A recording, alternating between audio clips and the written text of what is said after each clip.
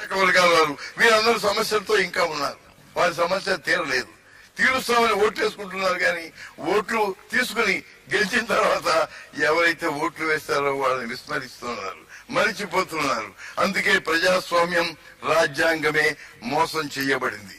కాబట్టి ఈనాడు నేను జాతీయ పరంగా నా ఉద్దేశం రాజ్యాంగం మార్చబడాలి. ఎవరైతే ఓట్లు ఏ నమ్మకాలతో అయితే అభ్యర్థుల్ని గెలిపిస్తున్నారు వాళ్ళు అధికారంలోకి వచ్చినప్పుడు పూర్తిగా ఆ ప్రజలు విస్మరించకూడదు. ఏమైనా వారి కనుక ద్రోహం జరిగింది అని ప్రజలు అనుకుంటే వెంటనే వాళ్ళని recall they got the power to recall తిరిగి వాళ్ళు పిలవాలి. నువ్వు అర్హుడి అనర్హుడివి. నువ్వు మాకు ఇచ్చిన మాట నువ్వు నెరవేర్చలేదు కాబట్టి దిగిపో అని అనిగేటటువంటి ఆ యొక్క హక్కు ప్రజలకు ఉండాలి. అది నా ప్రథమ విధానం కూడా మీ అందరికీ నేను తెలియజేస్తున్నాను. That is my first policy good morning news and hair oil సమర్పిస్తున్న బిజినెస్ బ్రేక్ఫాస్ట్ షోకి స్వాగతం. రెండున్నర దశాబ్దాల క్రితం ఆ మహానుభావుడు ఎన్టీఆర్ చెప్పిన రికాల్ విధానం ఇప్పటికైనా వస్తే బాగుండు. సో రికాల్ విధానం అమలైతే తప్ప రాజకీయ పార్టీలు ఈ అమలు చేయలేని వాగ్దానాల జోలికి వెళ్ళకుండా ఉంటాయి. సో ఎవరైనా వాగ్దానం చేసి అవి అమలు చేయలేకపోతే రీకాల్ చేసేట్లుగా ఉండాలంటే నువ్వు పనికిరావు. మాకు ఇచ్చిన వాగ్దానాలను నిలబెట్టుకోలేకపోయావు. కాబట్టి you refrain from contesting the elections తప్పుకో.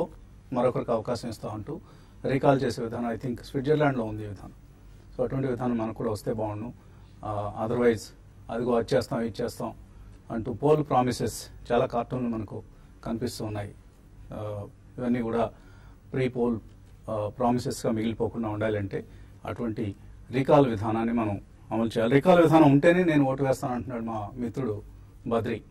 కానీ ప్రస్తుతానికి లేకపోయినా వేయాలి. ఎందుకంటే లెట్స్ ఓట్ లేకపోతే మీ ఓటు ఎవరైనా వేరే వ్యక్తులు వేసి వెళ్ళి వేసే దొంగ ఓటు వేసే ప్రమాదం ఉంటుంది. సో ఆ ప్రమాదం నుంచి ప్రజాస్వామ్యాన్ని పరిరక్షించుకోవాలనుకుంటే తప్పనిసరిగా అందరం ఓటు వేద్దాం.